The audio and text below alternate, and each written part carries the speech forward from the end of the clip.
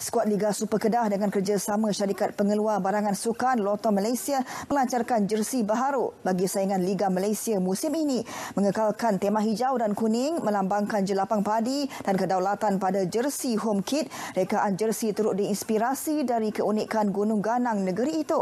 Untuk jersey away kit pula, rona merah menjadi pilihan kerana melambangkan sifat burung helang yang sentiasa memburu.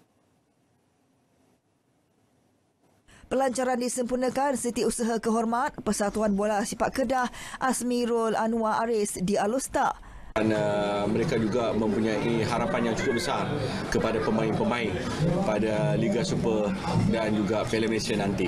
Dan kita juga kita akan mengekalkan kejayaan demi kejayaan Kedah FA ini di peringkat sama ada Piala Malaysia, Liga Super, Super ataupun Piala FA uh, maupun di peringkat di uh, di Asia insya-Allah.